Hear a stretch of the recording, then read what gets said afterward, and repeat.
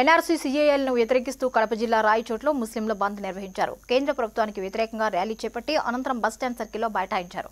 ప్రధాని Modi down down అంటూ నినాదాలు చేశారు.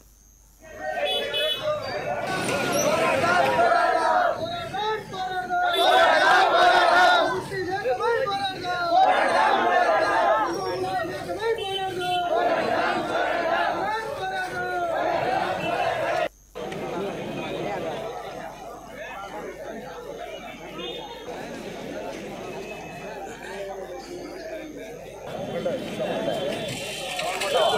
you.